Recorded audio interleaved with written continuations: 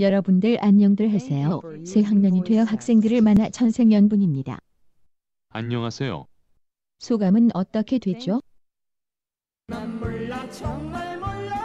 아직은 소감이 없는 것 같군요. 궁금한 거 있으면 말하세요.